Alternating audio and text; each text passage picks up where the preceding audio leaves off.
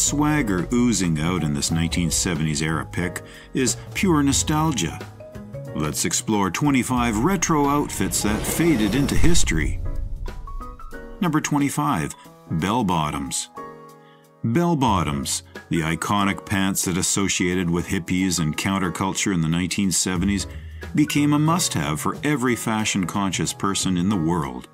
Originating from the Navy and adopted by the hipsters and anti war protesters who adorned them with embroidery, flowers, and colorful patches, bell bottoms stole all the spotlight from Hollywood to anti war protesters in D.C.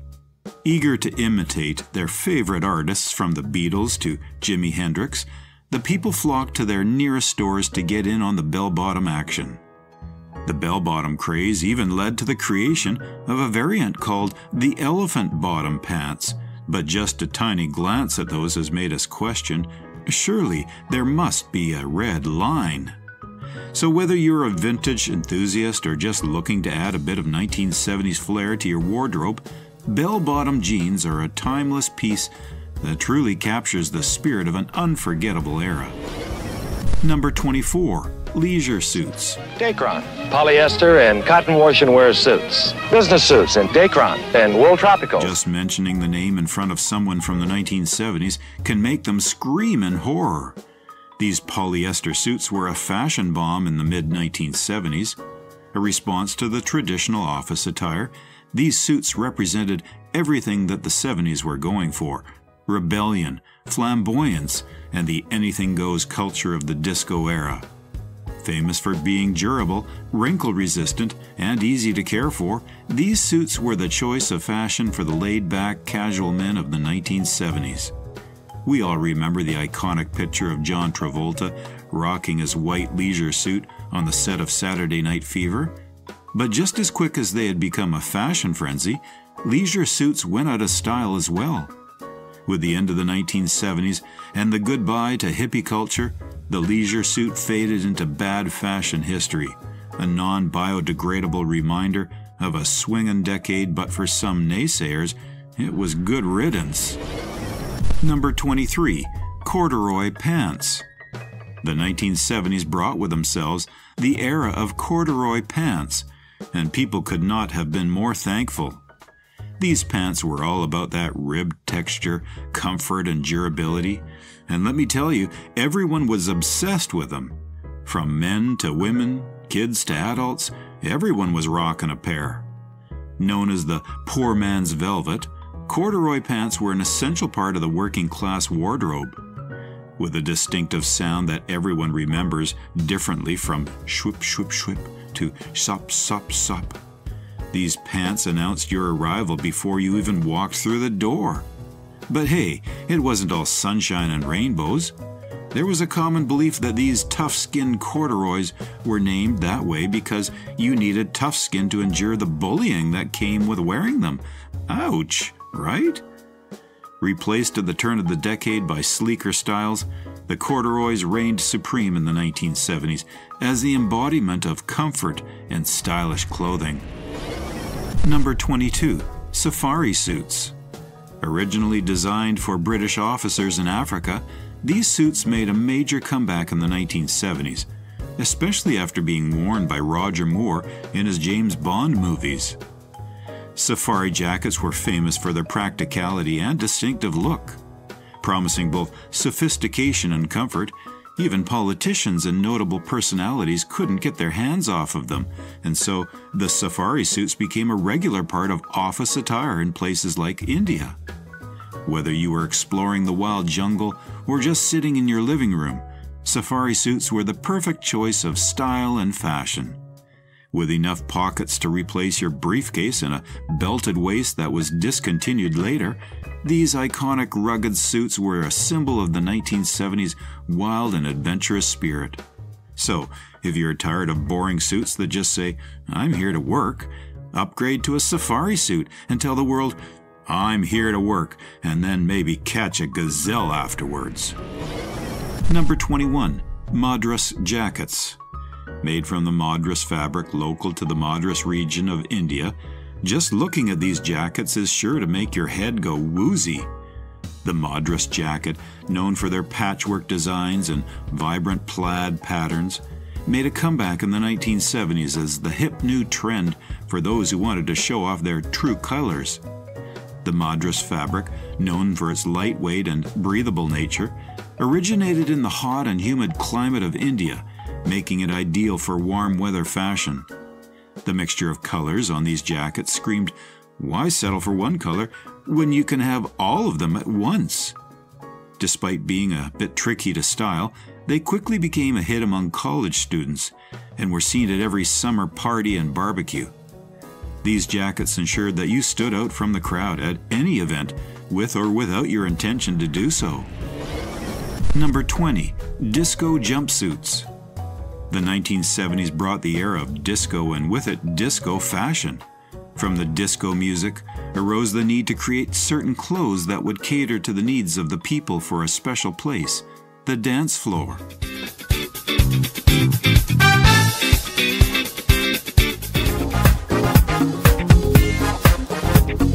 And so came into being the disco jumpsuits. Jumpsuits had everything you could ask for, commonly accompanied by flared legs, wide bell bottoms, and exaggerated collars, these jumpsuits were nothing short of a Swiss knife in the form of an outfit. These jumpsuits were a sight to behold, featuring skinny fabrics, sequins, vivid colors, and funky psychedelic patterns. It was like wearing a disco ball and announcing to the world, I'm ready to dance. Despite their flashy appearance, disco jumpsuits were designed for dancing. Their stretchy and breathable fabric meant you could dance the night away in true disco fashion.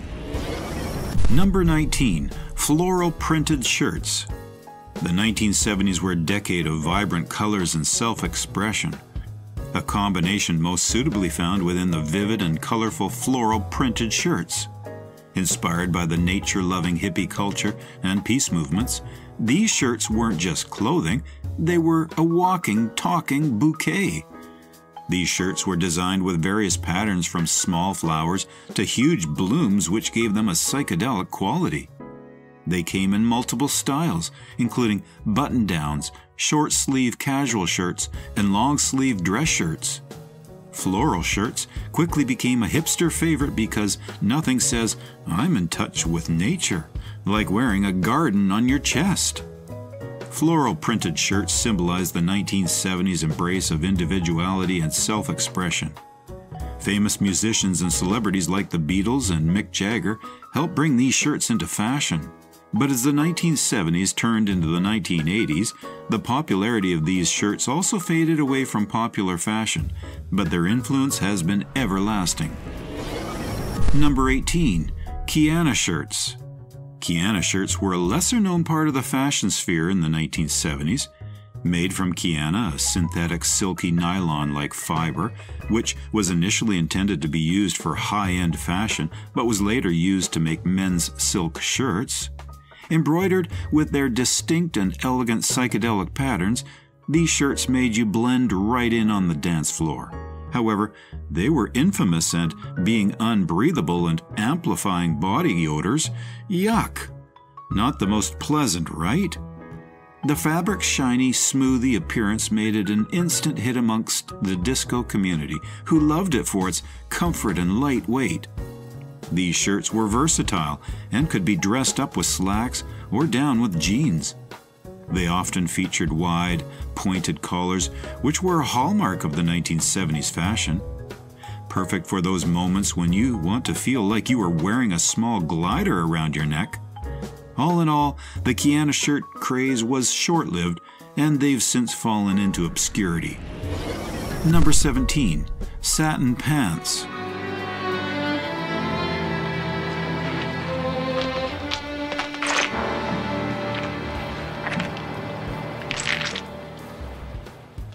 A part of glam rock outfits, satin pants are one of the strangest fashions we've seen from the 70s.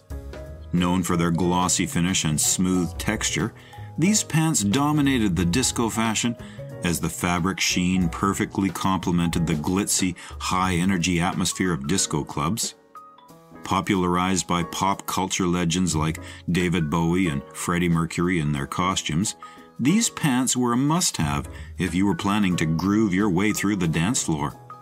These pants were often high waisted, enhancing a silhouette and elongating the legs.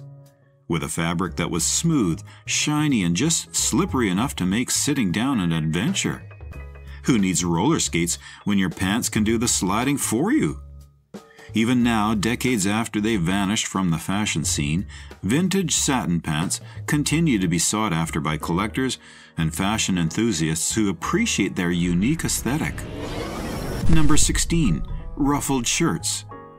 In the 70s, ruffled shirts burst onto the scene as a fashion statement, and boy, were they an eyesore. Featured with layers of fabric on the cuffs and neckline that gave them their characteristic ruffled design, these shirts were a reason you should never trust sources that insist anything new is good and the old is bad. The ruffled shirt was great because it added instant texture and personality to any look. Depending on how you wanted to style it, it could go a number of ways, from fun and festive to classic and confident.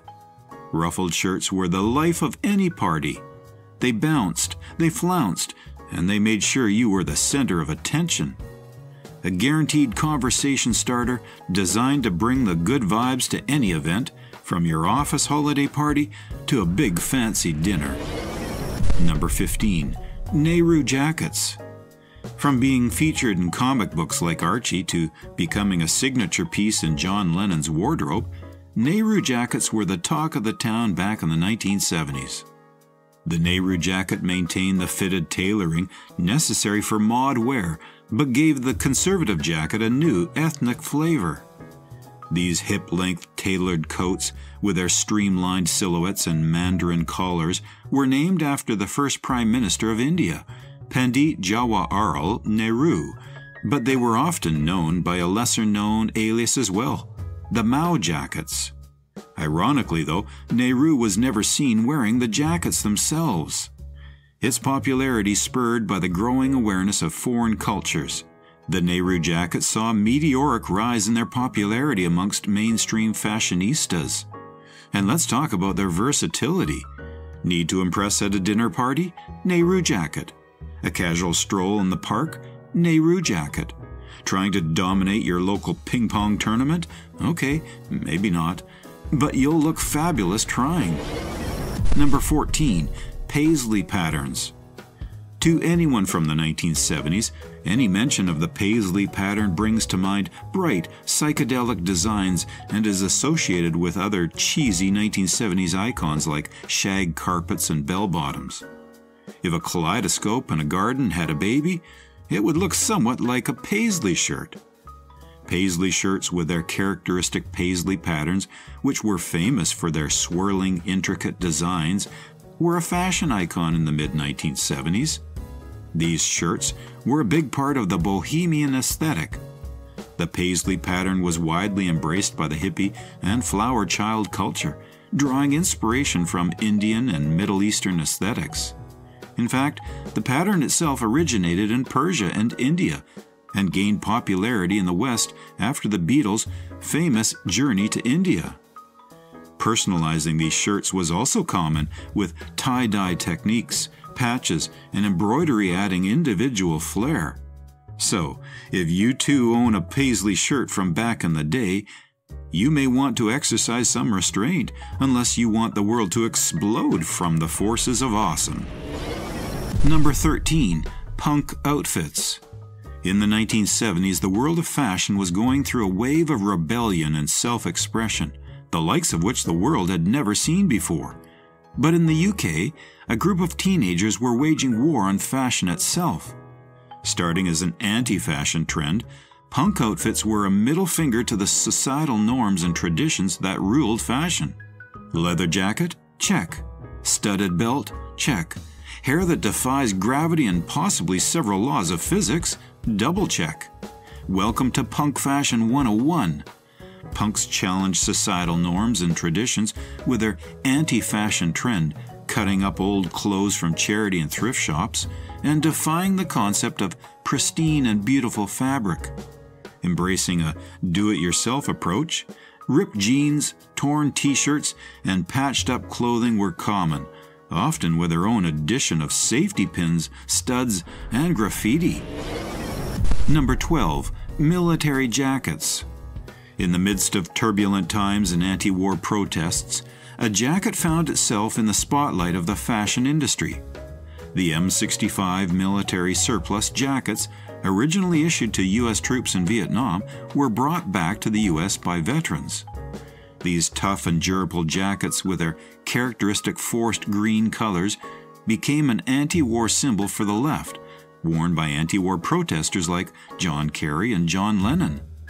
Adorned with their ideological patches and badges, these protesters took to the streets to protest the war in proper style and fashion. The M65 quickly became a streetwear icon and also found its way to our television sets from being styled by Stallone and Rambo to De Niro in Taxi Driver. This jacket made sure everyone who wears it looks like a manly soldier without actually enlisting, of course. Number 11 Peacock Revolution. The Peacock Revolution of the 1970s was a vibrant fashion movement that saw men's clothing become bold, colorful, and highly expressive. This period marked a departure from the conservative styles of previous decades, embracing a more adventurous approach to menswear. The revolution was characterized by the use of vivid colors, daring patterns, and innovative designs that allowed men to showcase their individuality and creativity. Key elements of the Peacock Revolution included wide lapels, flared trousers, and platform shoes. Suits and jackets featuring bold prints such as paisley, floral, and geometric patterns, often in striking color combinations like pink, purple, and electric blue. Shirts with wide collars, known as kipper ties, became a staple, frequently adorned with eye catching designs and worn with wide, often vividly patterned ties. The influence of the counterculture movement was evident in the adoption of more relaxed and bohemian styles, including bell bottom jeans, fringed jackets, and ethnic inspired accessories. The Peacock Revolution also saw a resurgence of vintage and historical influences, with Victorian and Edwardian elements being reinterpreted in contemporary ways. This fashion movement was not just about clothing, but also about breaking societal norms and challenging traditional gender roles. It allowed men to experiment with their appearance and express their personalities more freely, contributing to a broader cultural shift towards self expression and individuality in the 1970s. Number 10. Touch Guys. A 60s leftover, long hair for men still represented a counterculture image. While the establishment might no longer have been shocked by the disheveled hippie style, with its suggestion of poverty and irresponsibility, it didn't quite trust long hairs either. Treat this man with respect. He may have just sold a million records, read the framed poster of a downbeat hippie hanging in the lobby of the Continental Hyatt House Hotel on Sunset Boulevard in Los Angeles. In the United States, the Grateful Dead were the best living monuments to hippie style. Rich European hippies flew to Amsterdam to buy long leather coats, while London's Kensington Market outfitted them with imported Afghan coats, Indian embroidered or printed blouses and gauzy shirts, and unisex velvet loons. Number 9. Radical Denim. While denim was a kind of uniform, it could also be manipulated or embellished to make a highly individual statement. Levi's jackets were customized with embroidered stars and stripes and super studded names and messages. One jacket even had an ashtray built into the sleeve.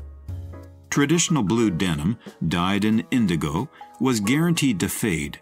Fading signified wear and tear and, by implication, hard work. New clothes made from old denim passed as fashion and sold in boutiques at high prices. These included skirts and flared pants made from jeans by opening up part of the original seam and inserting a triangular gusset. Besides blue, new colors and finishes were introduced, mostly inspired by the worn out look. Brushed denim simulated the velvet feel of an old pair of jeans, and colors tended to look drab and washed out beige pink, pale blue, and nondescript tan. Stonewashing, which means exactly what it says, putting new jeans into a pebble filled washing machine, broke down the even color and starchiness of new cloth. Alternately, a new pair of jeans could be worn in a bath of salty water until they felt skin tight. Some dress weight novelty denims were woven with jaunty patterns of teddy bears, flowers, and checks. Denim was even copied in other clothes. In 1972, designer Henry Lear produced leather suits dyed in denim blue that were much more expensive than the real thing. Gradually, a reaction against denim set in, with corduroy becoming a popular alternative for pants and blouse and style jackets. And so, within the language of denim were clear distinctions, both in terms of how much was spent on any one outfit and in how you wore and treated your jeans.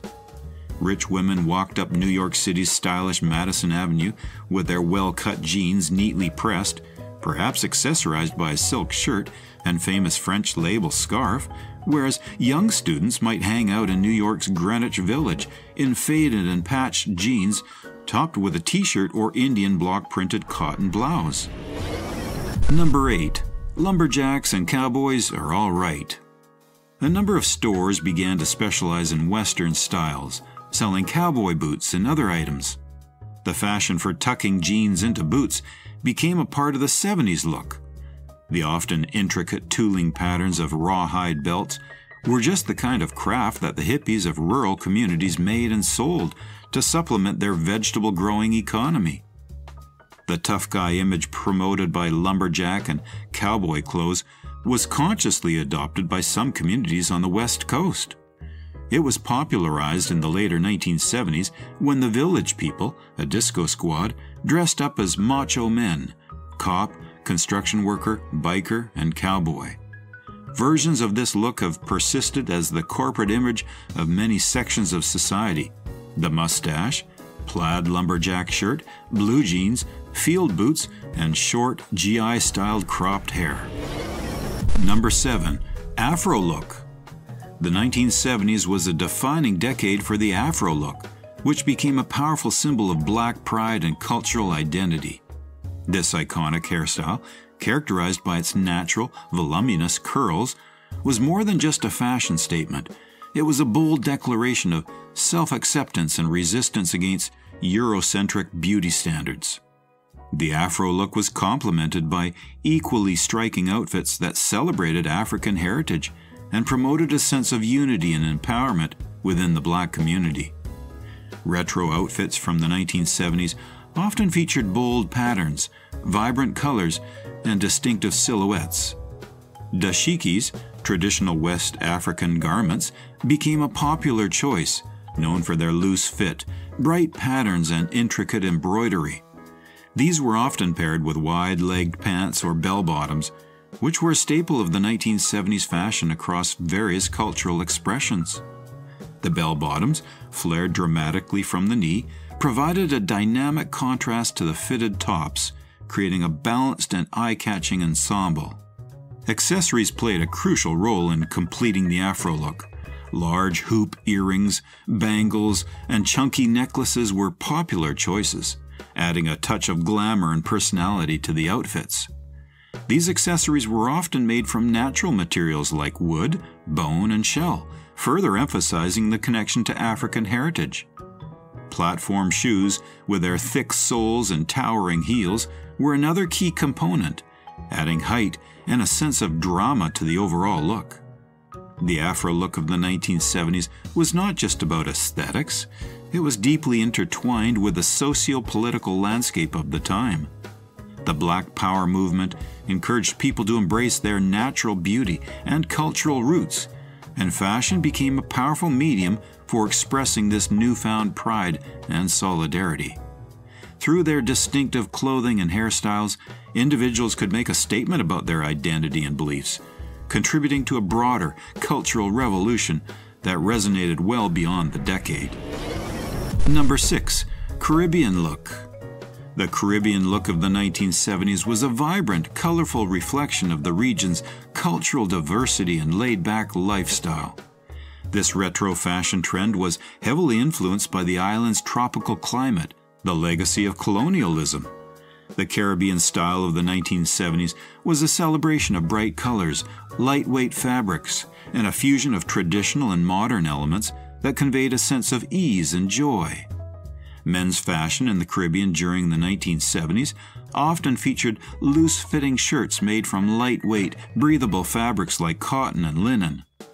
These shirts, known as guayaberas, were typically adorned with intricate embroidery or subtle pin tucks and were worn untucked for maximum comfort. Paired with these shirts were simple, wide legged trousers or shorts, making the outfits perfect for the warm, humid climate. Bold patterns, such as florals and geometric designs, were also popular, reflecting the region's vibrant environment and cultural heritage. Footwear for both men and women was typically simple yet functional, with sandals and espadrilles being the go to choices. These shoes were perfect for the sandy beaches and laid back lifestyle of the Caribbean islands. Accessories often included handmade jewelry crafted from local materials such as shells, beads, and wood, adding a unique and personal touch to each outfit. This fashion movement was not just about aesthetics, it was a reflection of the Caribbean spirit, joyful, resilient, and deeply connected to nature. The 1970s Caribbean look remains a beloved and influential chapter in the history of fashion celebrated for its authenticity and timeless appeal. Number 5. Turtlenecks. They were the signature item, and folks had them in black, white, charcoal gray, burgundy. You could wear them formally with a blazer or casually with jeans and a jacket, be it leather, denim, bomber, or an overcoat. Turtlenecks became a popular choice for men's fashion in the 1970s. These shirts, also known as polo necks or roll necks, had high, snug collars that covered the neck. They were both stylish and practical, providing warmth and a sleek look. Men wore turtlenecks in a variety of settings. They could be dressed up or down, making them a versatile wardrobe staple. For a casual look, men paired turtlenecks with jeans or corduroy pants. The stretchy, soft material made them comfortable for everyday wear. In cooler weather, they were often layered under jackets or sweaters. In more formal settings, turtlenecks were a chic alternative to dress shirts. Men wore them under suits or blazers, creating a sophisticated appearance without the need for a tie. The clean lines of a turtleneck added a modern touch to traditional suits. Turtlenecks came in a range of colors and materials. Classic black and white were popular choices, but men also embraced bold colors like red, blue, and mustard yellow. Some turtlenecks featured patterns, such as stripes or argyle designs, adding a bit of flair. The fit of the turtleneck was important. Many men opted for a slim, snug fit that accentuated their physique. The collar could be folded down or left up, depending on a personal style. Turtlenecks were a key fashion item for men in the 1970s they offered a blend of comfort and style, suitable for both casual and formal occasions. This versatile garment remains a classic piece in men's fashion today. We now return to the end of a depressing 1970s sci fi movie starring a guy in a turtleneck. Number 4. Leather Bomber Jackets. There are some die-hard fans of this jacket. Who cares if they're in style? They're timeless and badass. You should wear the hell out of it. Leather jackets are a very bold style typically, and when you add fleece lining, it is even more so. They'll never be common fashion. In our opinion, black leather jackets are better for most people because they hide a bad fit better, and leather jackets are hard to tailor. With a brown one, we think it's easy to look like a cringe boomer if you don't have a great looking model and perfect fit. Leather bomber jackets became a super cool piece of clothing for men in the 1970s. These jackets were originally made for pilots during World War II to keep them warm in their cold planes. By the 70s, they had become a trendy fashion item that almost every guy wanted to wear. The leather bomber jacket is made from strong leather, which makes it durable and gives it a rugged look. The jacket is a front zipper and often includes several pockets, making it practical for carrying things like keys or a wallet. One of the key features of these jackets is their snug cuffs and waistbands, usually made from stretchy material, which helps keep the wind out and adds to the jacket's cool style. In the 1970s, wearing a leather bomber jacket was a way for men to show they were tough and stylish. It gave them a bit of rebellious and adventurous vibe, like they were ready for anything. Popular movies and TV shows from the time often featured heroes wearing these jackets, which made them even more desirable. The leather bomber jacket came in different colors, but classic black and brown were the most popular. Some had fur collars for extra warmth and style. These jackets were usually paired with jeans and boots, creating a rugged, ready for action look. The leather bomber jacket in the 1970s was more than just a piece of clothing. It was a symbol of coolness and confidence. Number 3. Sherpa Denim Jackets. Denim jackets were very popular in the 1970s and 80s. Suede or corduroy jackets with Sherpa lining were also incredibly popular. We blame Dennis Weaver on McCloud for this trend. They were around, but in many suburban zones in the early 1970s, Sherpa cord jackets or Sherpa sheepskin leather jackets were more common. Contemporaries wore simple, unlined denim jackets. That was more the young rebel image of the time. Sherpa denim jackets became a popular style choice for men in the 1970s. These jackets were made from sturdy blue denim and had a cozy lining made from soft, fluffy material called Sherpa. This lining kept people warm during cooler weather, making the jackets both practical and stylish. Sherpa denim jackets had a rugged, outdoorsy look that many men liked. They were perfect for casual wear and could be paired with almost anything. Men wore them with jeans for a classic double denim look, or with other types of pants for a more relaxed style. The jackets often had a button up front, making them easy to put on and take off. They also featured large pockets, which were useful for carrying small items. The collars of Sherpa denim jackets were usually lined with the same soft Sherpa material, adding extra warmth and a distinctive look. This fluffy collar could be turned up to protect against wind or left down for a more laid back appearance. Number 2. Three piece suits. Men went again to wearing three piece suits along with matching vests and also jackets. Shirts were worn underneath, ties had been frequently skipped. While plain colored suits remained worn, men additionally experimented with bright colors as well as prints. 70s trend had been constantly revisited. That is a decade we keep looking at when we'd like inspiration. It is definitely an era coming from that developments are usually constantly picked, reworked, along with introduced.